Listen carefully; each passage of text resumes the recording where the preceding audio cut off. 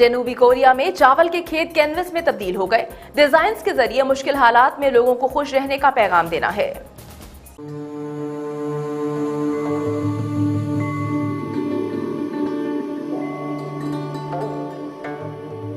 जनूबी, कोरिया में चावल के खेत कैनवस में तब्दील हो गए। चावल की फ़सल पर ऐसे दीदा जेब और दिलकश डिज़ाइन देखकर दुनिया हैरान रह गई।